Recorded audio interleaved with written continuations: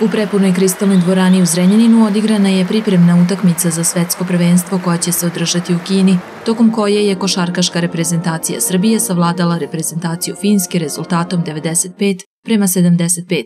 Najefikasniji u selekciji Srbije bili su Boban Marjanović i Stefan Jović sa po 12 poena, dok su po 11 dodali Dragan Milosavljević i Marko Simonović. Orlovi su ključnu razliku napravili krajem druge četvrtine kada su napravili seriju 18 prema 2 i na polovreme otišli sa velikih plus 18. Nakon utakmice novinarima su se obratili Stefan Birčević i selektor Aleksandar Đorđević.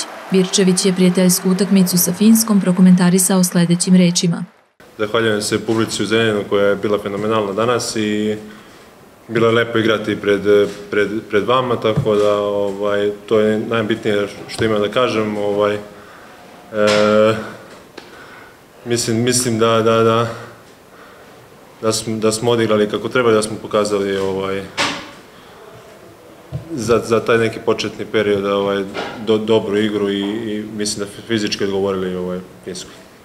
Selektor Aleksandar Đorđević istakao je da je reprezentacija većim delom odgovorila kako je i bilo zacrtano, iako je na početku utakmice bilo manjih oscilacija.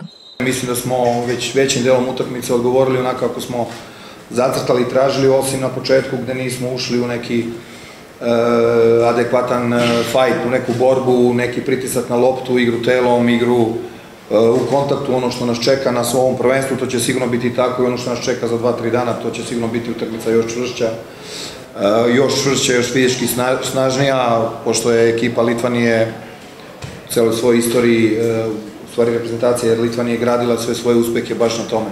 Moramo da shvatimo pod hitno da, je, da, da iz odbrane, iz fizičkog kontakta i, i snage i moramo da tražimo svoju igru ne napadom, e, bez obzira što ja to mogu da razumem, u ovom trenutku e, priprema, svi želimo negde da se tražimo, međutim nema potrebe, mislim da, da, da napad treba tražiti tek tamo negde za kojih tri nedelje recimo ili tako nešto. Prema tome, u ovom trenutku ekipa fizički dosta dobro izgleda, bez obzira na jednu jako brzu i atipičnu igru Finske, koja je svojom brzinom svi su otprilike za jedan broj manji u nekim duelima odnosu na nas, bili su izuzetno pokretljivi, izuzetno brzi i tražili u, u tim e, u tim načinima igre da nas, da, da, da, da odigraju protiv nas. E, u trenutku kad smo im, kad smo im usporili te kretnju napad, uspeli smo odbrano da rešimo. Imali smo dobro, dosta i dobrih akcija, 26 asistencija sigurno ovaj, raduje, jer to je ono što nas je uvek krasilo i mislim da i dalje treba da igramo uh, tako, a to je zajedno, kako odbrani, tako napad. Selektor finske košarkaške reprezentacije zahvalio se na prilici da igraju u Zrenjaninu, a istakao je i da je tim Srbije jedan od najboljih sa kojim su igrali. Well, first of all, thank you for the opportunity to play here. Kao prvo, hvala na prilici da igramo ovde, što ste omogućili ovim mladim momcima da igraju sa svetski poznatim košarkašima.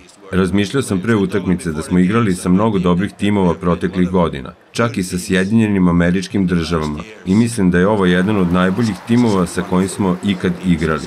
Srbija ima divan tim i vidim lepu budućnost za tim. Good future for, for the team. Srbija će naredni meč igrati u subotu u Beogradskoj areni protiv Litvanije od 21 čas. Nakon toga 20. avgusta reprezentacija putuje u Kinu gde će poslednje tri provere imati u Shenyangu 23. avgusta protiv Italije, dva dana kasnije protiv Novog Zelanda i 27. avgusta protiv Francuske.